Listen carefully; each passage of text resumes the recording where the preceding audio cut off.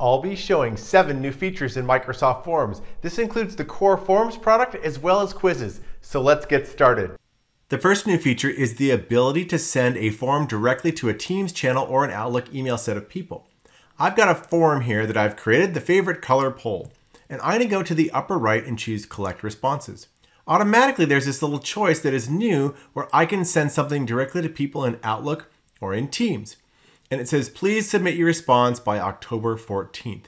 And so that's the date that I would like people to submit things by. Now I can add a name or a channel here. I'm going to start with a channel.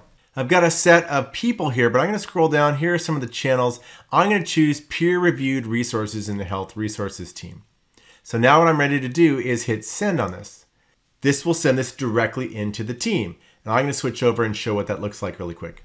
I'm here in the peer reviewed resources channel in my team, and here is that poll that I just sent. The form went right into the channel, and people can now click start now. So anyone who sees this message can click this, and then that form opens up and they can fill it out. In a similar way, if I go back as the form organizer, I can send this mail directly in Outlook. So if I give a couple of people here, I can type in their names. Here are the people that I want to email this directly to. I just check the Outlook box and I hit send. This will then send them a form directly with a link. They can click it and open it. The second new feature lets form creators really easily have a sense of who has filled out the poll or not via an Outlook update.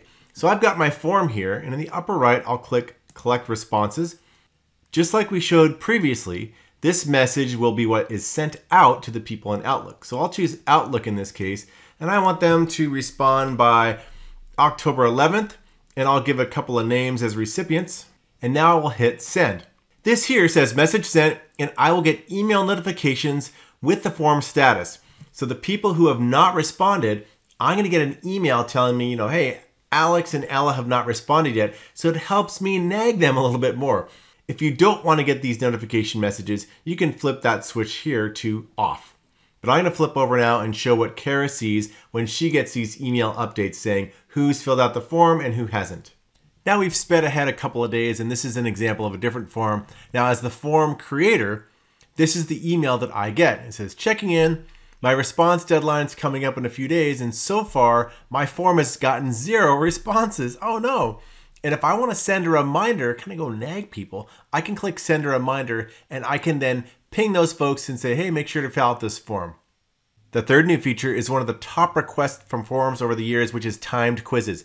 I'm an educator and I have a quiz here and I want to put a timer on it so people have a very specific time they have to finish in. Up in the three dot menu on the right, I will choose settings and there's this new choice, set time duration.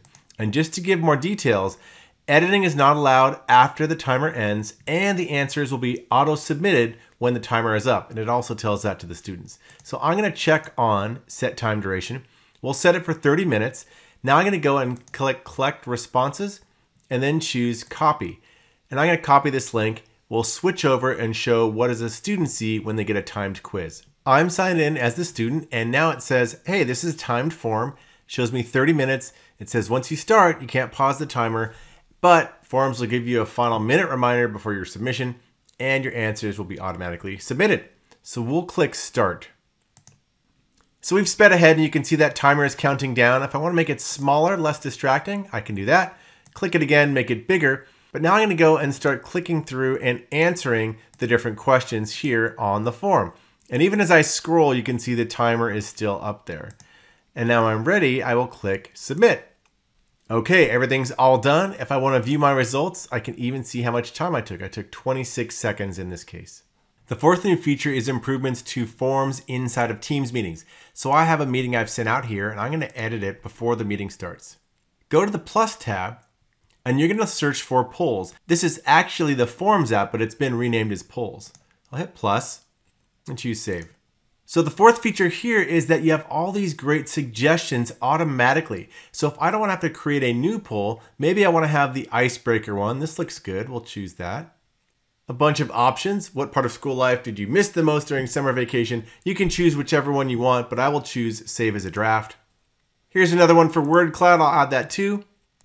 So having all of these suggestions here, and if I scroll down, there's a whole bunch of great suggestions. These are more education focused because I'm signed in as an educator, but if you're in the corporate world, they'll be more corporate focused as well.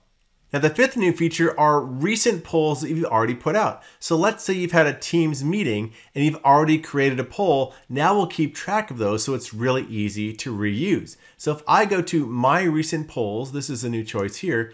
Over on the right, you'll see a poll that I already gave. Is Mike amazing? That's a great poll. I'm going to reuse that one. One to five stars. I hope people add a five star rating for me. Those are my three polls that are all now ready to go before I go into the meeting. And you can flip back and forth between my recent polls or new suggestions, or just create a new poll which has already existed in the past. Now, the sixth new feature is another one for polls, and I'll click New Poll. There's a new question type, and that is ranking. So I will click this, and you can allow people to rank different questions. So, what is your favorite color? And I'm going to save that as a draft. Now, what we'll do is start the meeting, and I will launch that ranking question. I'm here in the meeting and in the upper right there is polls because I've already added that. If I open this up, I can have all the different draft polls that are all ready to launch. And I'm gonna launch the ranking poll. So I will click launch. And this asks, what is your favorite color? And all I need to do is click and drag, you know, purple's my favorite, purple's number one, and blue is number two, and I'm gonna have, a, you'll have green is last place. So each person can rank these different options. I will hit submit. And now it shows the current ranking, only with one response. And as more people rank and respond, this will shift and update in real time. The seventh new feature is another new poll question type, and that is rating. So I will open up the polls menu from within the meeting this time, and I will click New Poll. One of the new choices is rating, and we're going to choose this. So we'll give a question, what do you think about this forms video? And you can rate it from one to five stars. If you want to change this, maybe you only want to allow three choices or four choices, you can do that. And it doesn't have to be a star. It could be a thumbs up. So, hey, I want to give one to five thumbs up. And you can also do things like defining the different levels. Level one means this, all the way up to level five. So a few different options.